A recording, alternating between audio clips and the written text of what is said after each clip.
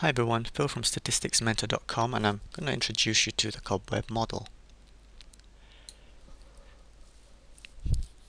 Recall that the market equilibrium supply has to equal to demand and the solution of that, if we've got here the supply set and the demand set, is where the two lines cross. So here is the equilibrium. Okay, so we can have coordinate there, equilibrium, say Q star is the equilibrium quantity and P star. But uh, how do we reach that equilibrium? Can we just assume that the markets just hit equilibrium straight away? That's not so realistic. And so the cobweb model is a model that explains how we reach this equilibrium point when we are starting off equilibrium. In other words, when we are not at the equilibrium price and quantity. How do we reach this equilibrium point when we are somewhere off the equilibrium? And can we reach it? In other words, a cobweb model is a dynamic model of equilibrium. Dynamic meaning that it involves time the prices and quantities will be adjust over time in such a way that eventually we, it reaches the equilibrium point if this can happen. This is in contrast to our when we first met the supply and demand curves where we look at the static problem. So we simply want to find where they cross. Static not involving time we're just interested in is the equilibrium and where is it the two equations that make up the cobweb model is the supply and the here the inverse demand. And what we notice is this. Look at the subscripts. QT, this subscript T means the quantity uh, supplied at time T. T may be in years, maybe in months, maybe in days, it's whatever units the data is in, okay? But what's crucial here is you can see that the supply quantity supplied at time t depends on the price because this is a function of price in the previous time period. In other words, the suppliers are acting like one lag behind. They're looking at, say, the previous prices to set the quantity that they will supply in the next period. So we think about uh, weeks here. They look at last week's prices to determine what they're going to supply this week. The demand, on the other hand, you can see this um, the, in the demand side, they'll pay the, for the price P at time T when they see that the quantity is what the quantity is supplied at time T. In other words, it's like everything is in this time period. So for the demand side, they see what the quantity is supplied in this period, say, and det that determines the price they're willing to pay in this period.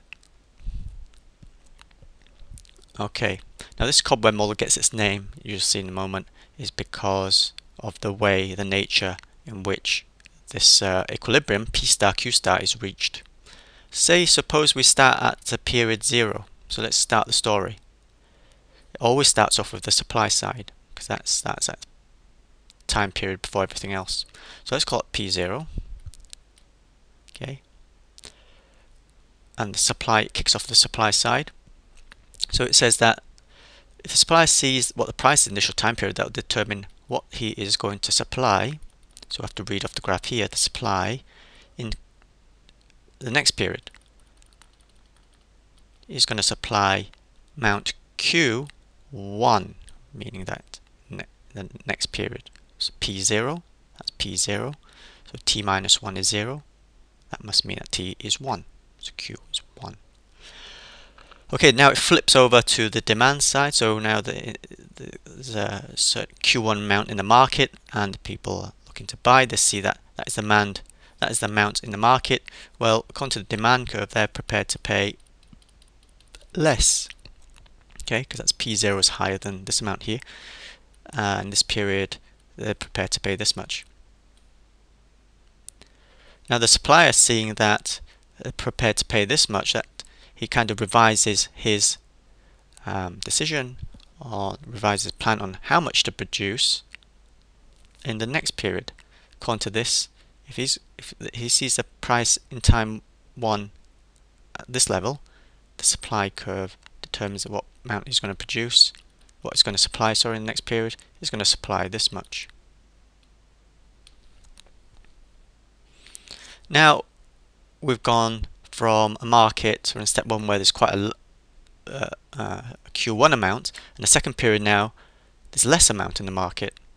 So people seeing that there's less amount in the market, obviously they're going to be prepared to pay more. How much more? This much more. So now they're going to pay P2. So the story flips back and forth between supply and demand. And if we connect the lines, you can get see the idea that eventually you know, I'm going to reach the equilibrium. There. That is uh, Q star, say, P star. And that's where you get the name cobweb from, because it looks like cobweb. So intuitively, well, let's let's put it another way. Let's try to put this another way without graphs. So there's a certain amount on the market.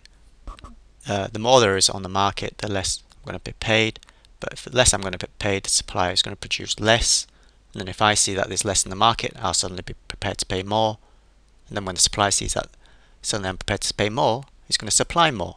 See? So that's like how it works. You can see then what is happening to the prices. Let's go another step. The prices start off high level, then it goes to a low level, then it goes to a high level, then it goes to a low level. So it's fluctuating, isn't it? It's fluctuating and so is quantity. High, low, that'll be high, low, high, low, high, low. In other words, you can think about time graph involving time here because since this is a dynamic model of equilibrium, it must be quite useful to look at a time plot. So scale on time, let's look at the price. And this graph here corresponds to this. So first of all, I start off at time 0 at this level. This is P0 okay eventually at some point I'm going to reach P star let's say let's say first of all just my uh, let's get a nicer graph than this I'm trying to show things make them nice and large. Is that large enough? Okay, let's say that this is no, that's not nice enough. Okay, I'm back again. Let's say here now. Let's say this is P star.